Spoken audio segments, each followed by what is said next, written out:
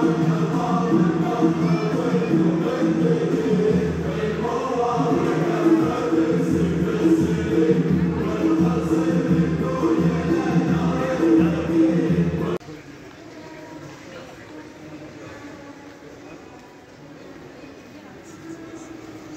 ਮਹਾਰਾਜ ਨਾਲ ਲਿਖਿਆ ਤੁਹਾਨੂੰ ਇਹ ਥਾਂ ਹੀ ਦੀ ਤੁਹਾਨੂੰ